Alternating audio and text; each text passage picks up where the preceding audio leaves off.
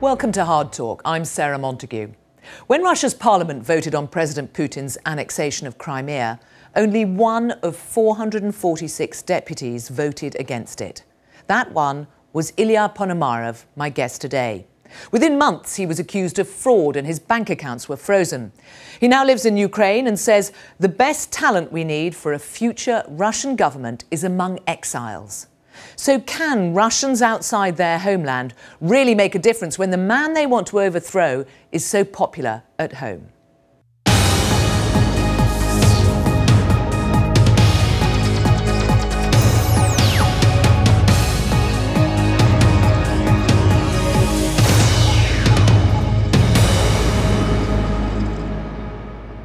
Ilya Ponomarev, welcome to Hard Talk. Thanks for having me. Why did you vote against the annexation of Crimea?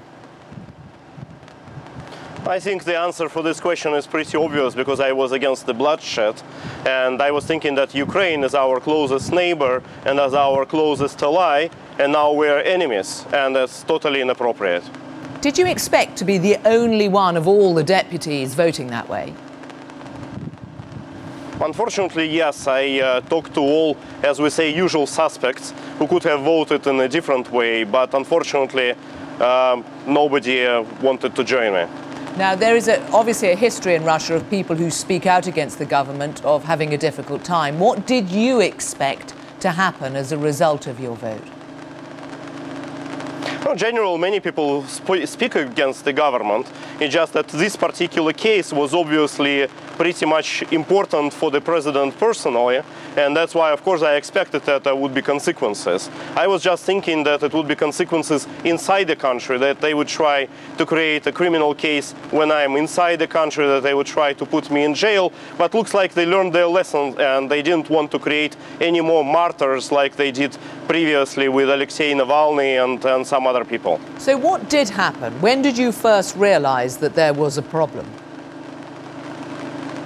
Um, you know, of course, I got all the messages uh, straight away, and uh, straight away I was called national traitor, you know, and the fifth column, and the agent of CIA, and of MI6, by the way. Uh, but that's like uh, usual accusations that uh, Russian opposition hear. Um, in July, when I was on the business trip, they decided to close the border for me and made a special court decree which does not allow me to cross Russian border anymore. So, and at that stage, you were in the United States, and what you found that your accounts were frozen. Yeah, uh, uh, I was lucky that I was in the United States and not in some other locations because they actually froze all my uh, bank accounts and then shut down the credit cards and everything. I was left uh, literally penniless in uh, in another country and I have like to start a real uh, new life. And by being in the United States, I at least had a lot of friends who helped me. And your family, because I think your children are still in Russia, aren't they? Uh, no, actually, I uh, got them out.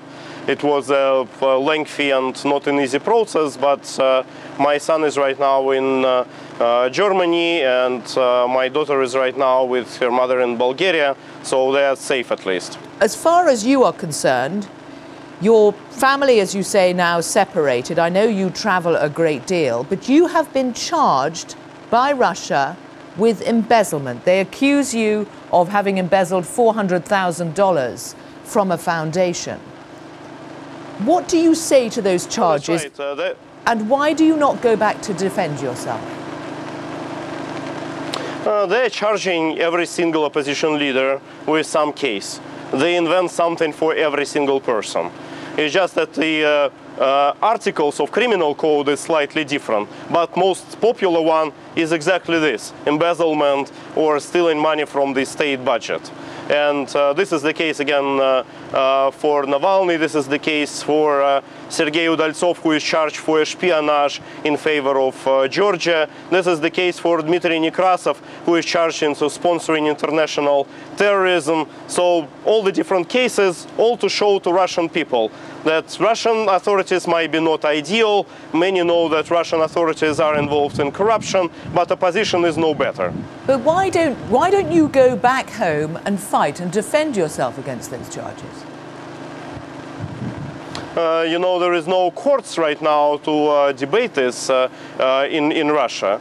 It's like you are playing soccer game when there is just uh, one set of gates and uh, all the judges are on one side and you really cannot confront them. I tried to do that and firstly I debated all those charges in the civil case but uh, nobody actually listened. So right now my position is very similar. Let them go to Interpol, let them try to uh, do international uh, prosecution and let the international court see uh, all the arguments and let the international court decide. That's why I'm traveling so uh, often, so frequently, and I'm always checking in on Facebook where I am right now. But so far, no Interpol, all only threats. Uh, but of course, it's not just the courts. Your own party, uh, um, a Just Russia, has also turned against you because just recently there was a vote to impeach you. You've had your immunity removed. And it was only two people in your party of 60 plus who voted with you.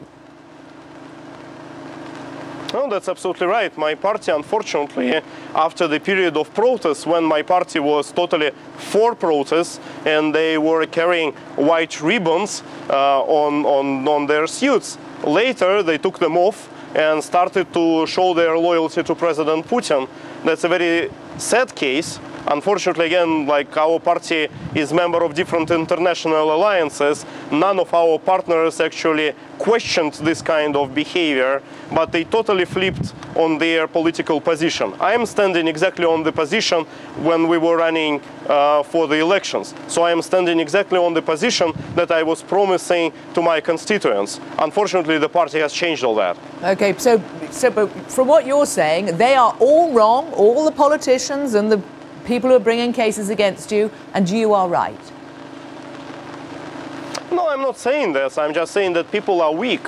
And they uh, always say that politics is the art of possible. So there are people who are real opposition people inside my party, and they still remain there, but they're trying to fight against different economic measures of the government, different social initiatives, and they justify by this that they still continue fighting against these uh, neoliberal uh, uh, measures, that they still are in the parliament and they have to be loyal to the president because otherwise they will be impeached in the same fashion as I was. Okay, but in terms of what this has meant for you outside the country, I know that you suddenly were told by a friend that there was a billboard on a 10 story building across from the Kremlin with your face on it and the words national traitor. Now, that was some time after you left, and you said that you were fearful of staying in the same place for more than a couple of nights. Is that still the case? Do you still fear, fear for what may happen to you? Look, I don't fear because I think that what is supposed to happen, that would, fe- that would happen. You know, I'm just doing what I'm supposed to do. And uh, yeah, some people in the opposition, they like to talk about this, how they are being prosecuted. I don't like to talk about this. Yes, in, uh, in modern Russia, we have uh, the same uh, set of uh, events that was happening in uh, Germany in 1930s, unfortunately. And the country is going exactly in the same direction with all the authoritarianism and with the, the same tricks of state propaganda. And uh, that really makes me sorry for my country. And uh, what really makes me sorry for our neighbors because my country right now is dangerous for them but what I'm supposed to do, I'm a Russian patriot, I'm a Russian citizen. So what I'm supposed to do is to fight against them. And so, I'm not supposed to have fear in my heart. Are you, you're, you're comparing, seriously comparing Russia now with Germany in the 30s. Are you comparing, therefore, President Putin with Hitler? I wouldn't say this, but uh, sometimes when he is giving his public speeches, he is using exactly the same terminology and giving exactly the same uh, words. But I think that uh, for Putin it would be too high of a comparison. You know, he is more like one of uh, uh, Hitler aides, like Goebbels, who is creating all this. Because he doesn't have grand vision, he doesn't have grand objective. He doesn't want to kill people either, he just wanted uh, to be rich. Why do you say you are fearful for Russia's neighbors? I think that uh, my country, unfortunately, is uh, the country who has the great culture, the great uh, tradition, the great system of education, a great people at the end of the day, instead of exercising all this, we are threatening our neighbors. We are trying to force them. Instead of soft power, we're exercising the hard power. And that makes me really sorry. That makes me really sorry for my people, and that makes me really sorry for all our neighbors. Like here, we are standing in Ukraine, and I'm talking to Ukrainians, and they're always very friendly to ordinary Russians. And they say, We don't understand why we, the blood relatives, right now are at fight. But and it's do- but- not the guilt of Ukrainians. Okay, it's well- the guilt of Russia. Okay, but there's history with Ukraine. What about the Baltic states? Do you think NATO, the West, is right to be fearful that, that Russia could stir up trouble in the Baltic states? I think that the logic of Vladimir Putin is uh, the logic of escalation. He uh, cannot starting the escalation, he cannot stop. So you saw that he started confrontation with Turkey, then he pulled out of that confrontation. Baltic states are the obvious targets where uh, Russian, Russia and Vladimir Putin can go further. And I think that, of course, uh, the uh, military of those uh, states have to be reinforced. But you are talking about somebody who has approval ratings in Russia consistently of more than 80%. And this is from independent Western polls as well as Russian ones. He is unbelievably popular. He is what the Russian people want. I uh, think that he is genuinely popular. Of course, I don't think that's maybe not 80%, because people sometimes cannot be sincere in the situation of authoritarian state, you know, to expect them to give honest answers for sociological uh, pollsters is uh, kind of, you know, you haven't lived in this kind of uh, society.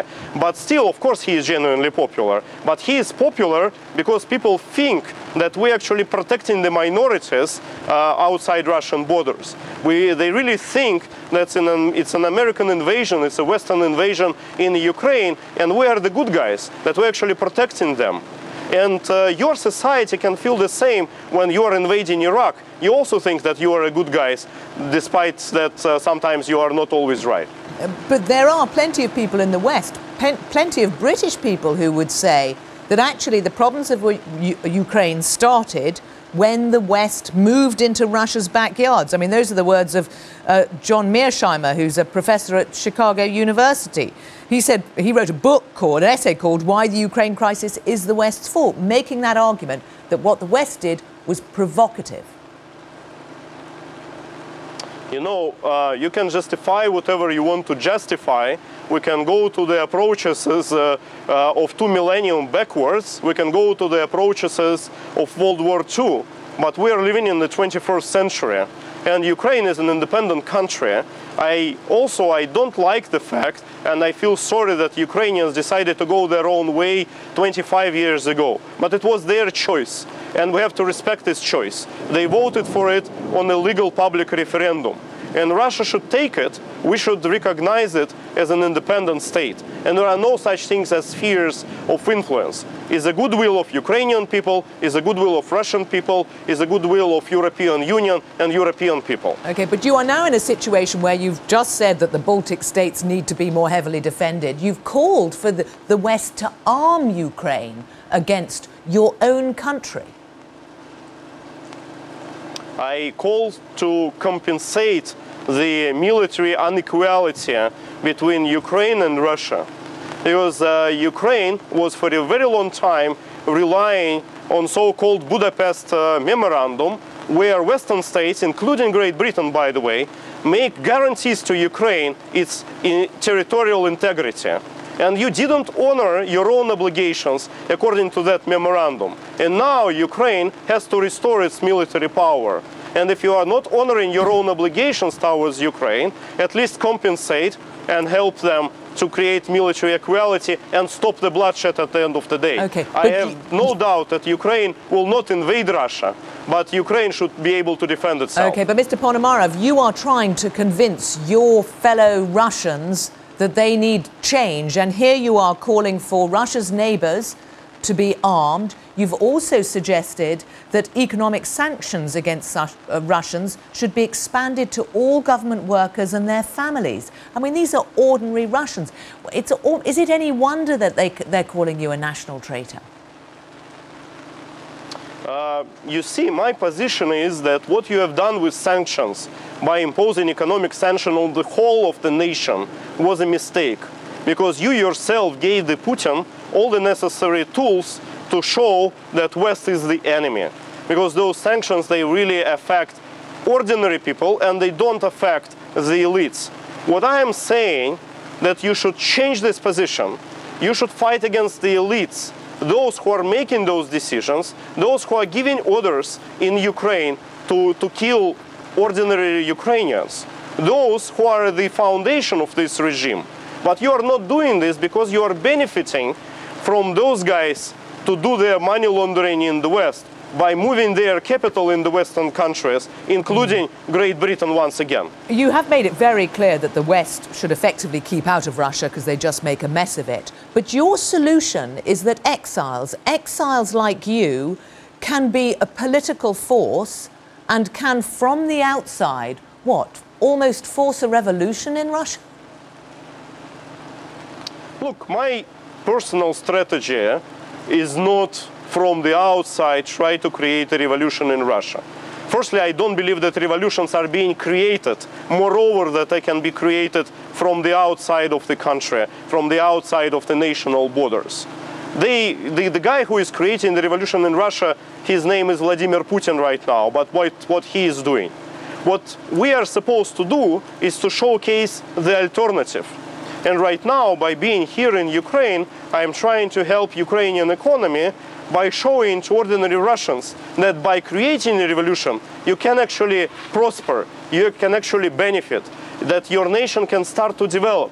And this is not happening right now in, in Ukraine because the country doesn't have a clear strategy where to develop. And I hope to help with this thing. Secondly, I want to help to organize Russian diaspora because uh, Russia has experienced huge brain drain during last two years. More than a million Russians have left Russia during last two years. And these are the most capable uh, uh, people, the most entrepreneurial, the most bright, the most capable scientific talent. And by getting them united and by getting them to create this alternative for the country, I think that okay. they will can later well, it, return it, to the country and then create a new nation. But so it sounds like a government in exile. You said the best talent we need for this future Russian government is in the U.S. You're talking about it's what? Totally Marsh- different. It's not. It's not. A, is not the government in exile. Government is an elitist approach. What I am talking about is about ordinary people and about common people initiative. So how, uh, how would it work? How do, how do you have this, you know, you have your, the people that you're marshalling the, from the bottom up. What changes? What changes in Russia as a result of that? Um, it's a new vision for the country. Right now, the only person who can say that he has the vision is Vladimir Putin. And when you were asking me about the sociological surveys that are showing that he is popular, he is popular because there is no alternative. And when you're selecting somebody from nobody, of course you will get the high numbers. As soon as people would see that there is alternative, and this alternative is not about personalities, is not about Ponomarev, is not about Khodorkovsky, is not about Navalny, is about the way country is supposed to go then his numbers would start to decrease. But all these people, this vision that you're painting is from people outside Russia. What's changing inside Russia? Right now things that are changing inside Russia, these are changing for worse. And that would continue for a while in the same direction. Of course, there are certain forces who are participating in the parliamentary elections which are coming this September, and I have my personal preference whom I am supporting during these uh, elections, and I am trying to influence my constituents to come to the polling stations and vote and vote consciously, but nothing will change through the elections. It's a process, it's not about a result. The Anatoly Gorbunov in the Moscow Times said, the Russian political scientist, whenever the opposition has to tackle fundamental problems, it disintegrates into little splinters. Is he right?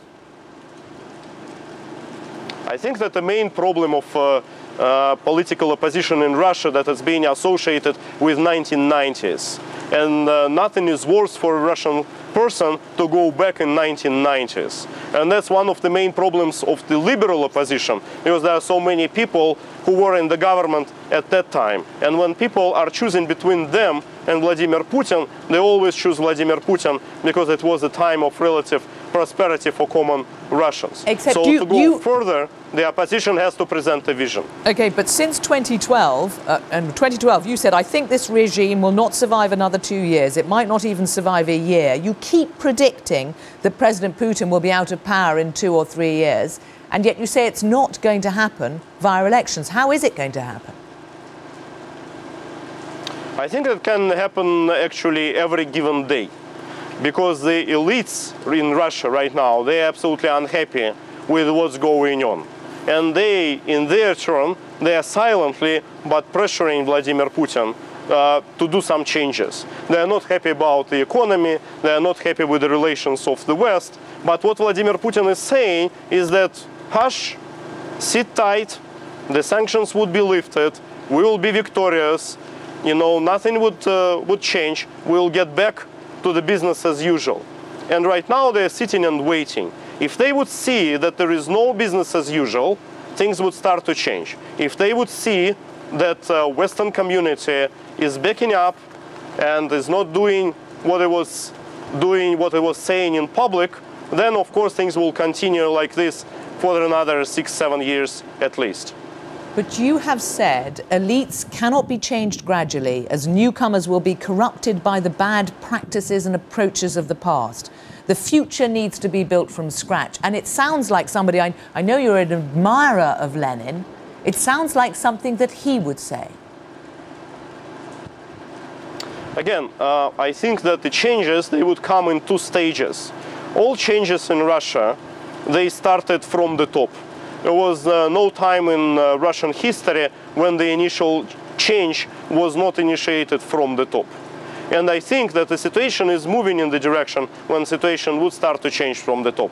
But then the common people, the bottom, should pick it up. And it should be a mass process. It shouldn't be an elitist approach. And this is something that I'm trying to work on right now. Okay, so you're saying the change will become because somebody near, somebody at the top, near President Putin, will make a move against him. Um, it's not necessarily that it would be a move against him. You know, it can be a um, relatively friendly move.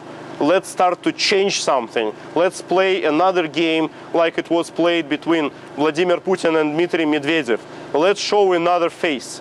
But it's no longer 2008, and as soon as they would start any kind of serious changes, I think the situation would actually blow.